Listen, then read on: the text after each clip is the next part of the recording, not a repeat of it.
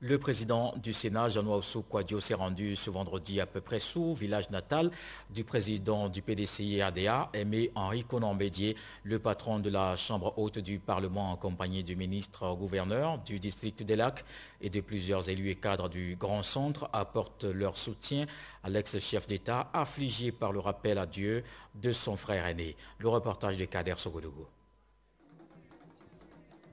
Pépressou, il est 11h ce vendredi 27 mai 2022.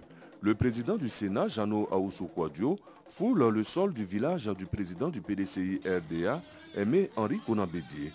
L'ex-chef d'État est frappé par un deuil, celui du rappel à Dieu de Nana Marcelin Bédier. Son frère aîné, chef du village de Pépressou, membre de la Chambre nationale des rois et chefs traditionnels de Côte d'Ivoire, dans la nuit du vendredi 27 au samedi 28 août 2021.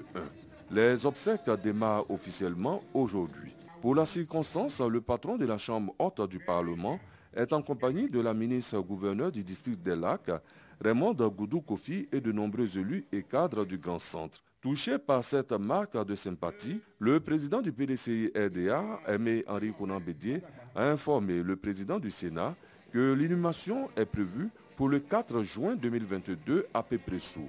À leur tour, Jeannot Aoussou et sa délégation ont offert la somme de 12 millions de francs CFA en soutien pour les charges liées aux obsèques. C'est aux environs de 12h30 que la délégation du président du Sénat a quitté Pépressou pour Yamoussoukro, la capitale politique.